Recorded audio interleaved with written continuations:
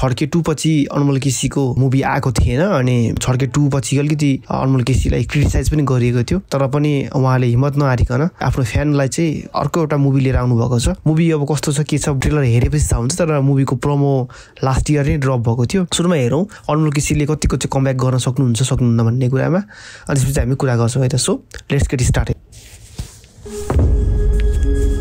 आज कार्तिक पूर्णिमा। आज रोजेको सोचेको सबै पुरा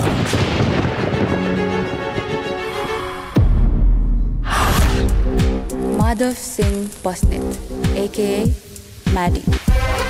The real definition of jerk. So यदि तेरो दिमागमा त्यही चलिरहेको छ मैले सोचिरहेको छु just don't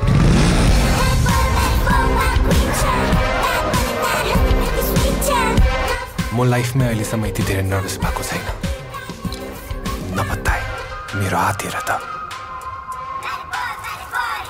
can you feel it you're so beautiful फर्की फर्की आउँछु म तिम्रो मनको नजिकै फर्की फर्की फर्की फर्की फर्की फर्की I think I found the one.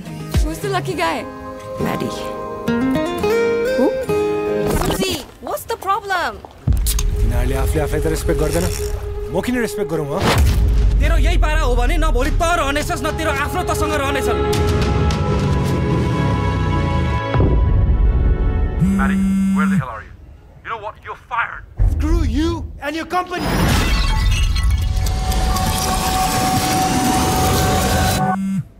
Maddie, where the hell are you? म त अफिस आउँदै हुँदिनँ Maddie, where the hell are आदर खुट्टा हाल्छु चाहिँ फेरि So every time तिमीले गल्ती गर्दा तिम्रो लाइफ रिवाइन्ड भएर फेरि रिस्टार्ट हुन्छ. Is that what you're saying Maddy exactly तिमीले मलाई छाड्न नै छ भने बरु भन म जस्ट एउटा फिल्म थियो भनेर तर यो सब बकवास अब यसै गल्ती उसै गल्ती लेट्स ह्याभ सम फन त लुपमा चाहिँ होइन त मेन्टल हस्पिटल जानुपर्ने हो बडा साला टाइम ट्राभलर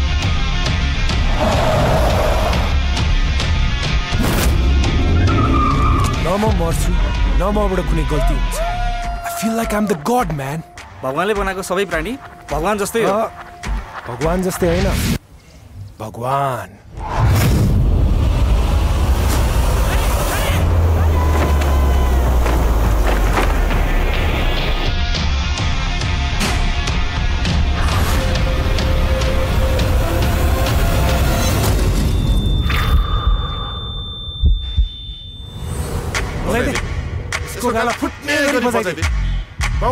के काम यसलाई कसरी थाहा भइरहेछ? हामी यही भन्छौँ भनेर। दाइ साइको हो क्या हो? साइको होइन। भगवान्।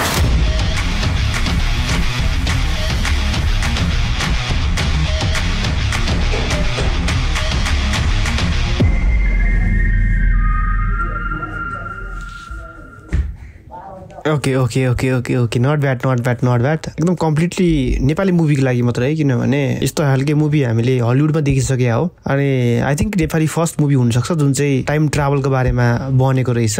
खुसी लाग्यो प्लस अनमोल केसीले योचोटि चाहिँ एकदमै आफूलाई कम्प्लिटली च्यालेन्ज गरेर चाहिँ कन्टेन्ट दिउँ नयाँ तरिकाको चाहिँ एउटा टेस्ट दिउँ न भन्ने हिसाबले चाहिँ यो मुभी साइन गरेको हुनुपर्छ। अनि योचोटि अनमोल केसीले कमब्याक चाहिँ गर्नुहुन्छ जस्तो मलाई चाहिँ फिल भयो है।